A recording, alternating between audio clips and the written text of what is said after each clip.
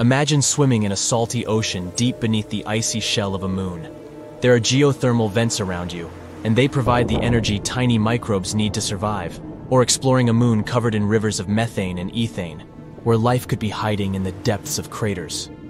The point is, we may not need to leave our own solar system to look for any sign of life outside of Earth.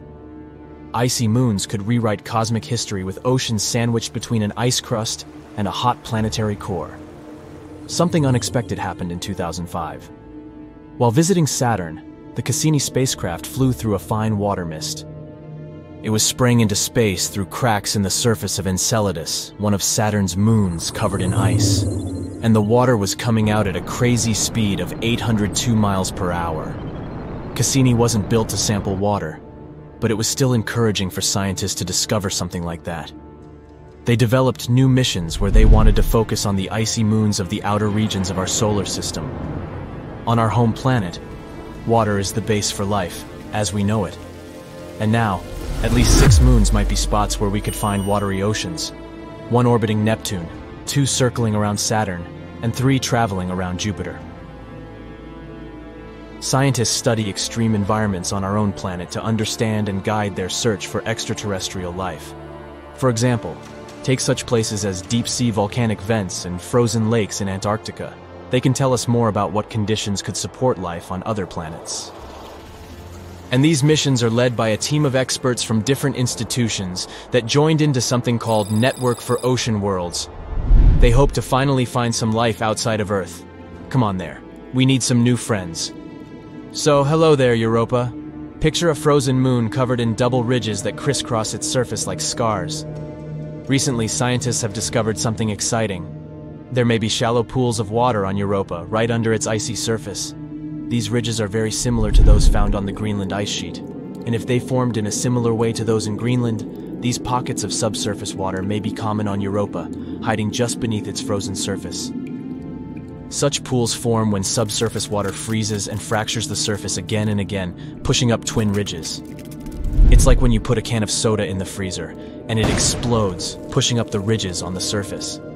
These ridges on Europa are up to 984 feet high and separated by valleys half a mile wide.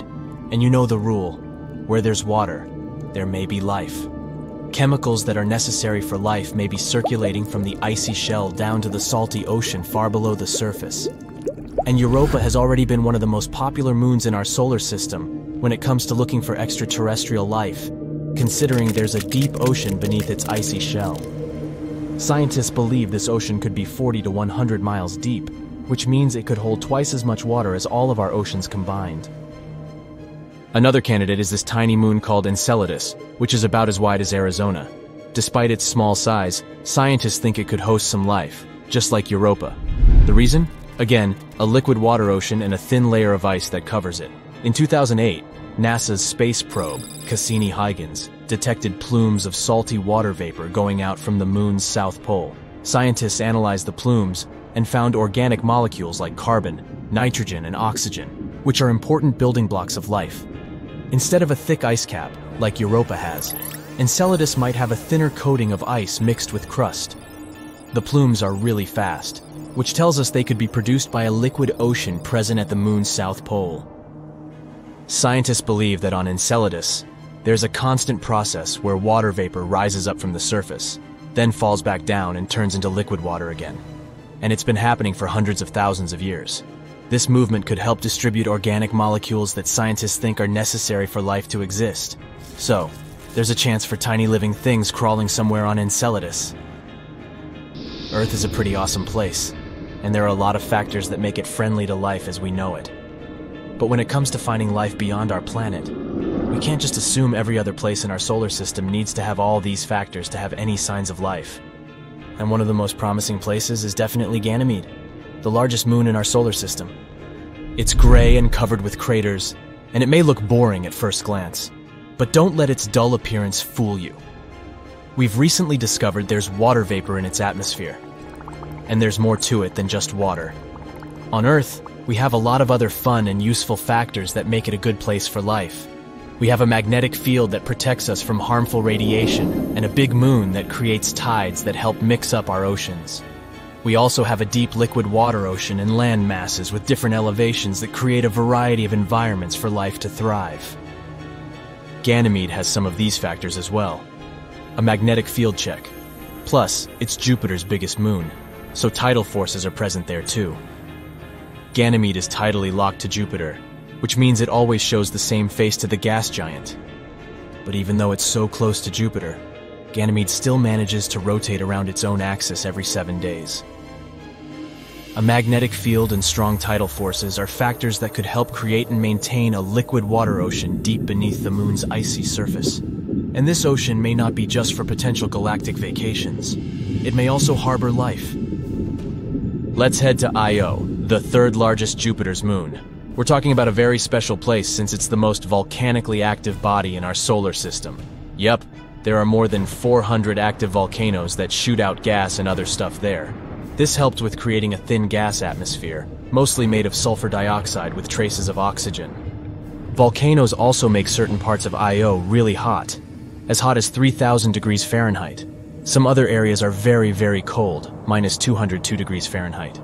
Life could hardly develop in such extreme conditions, Plus, Io doesn't have water or organic chemicals, and it orbits within a ring of dangerous radiation. But scientists believe there might have been life on Io a long time ago, maybe even in some other form that we don't know about today. It could still be there, deep under the moon's surface. Some simulations suggest that Io formed in an area with lots of liquid water, which combined with its heat could have fostered life. But any life on the surface would have been destroyed by the radiation after only 10 million years of existence. So, if there's life on Io, it's probably deep underground, safe from all the crazy radiation at the surface. Like people building entire cities in all those apocalyptic movies, hiding from whatever's out there on the surface. So to check that out, we'd need to send a special probe to find it. But building a probe that could land on Io and drill deep enough to find life is a very big challenge. And we're not quite there yet.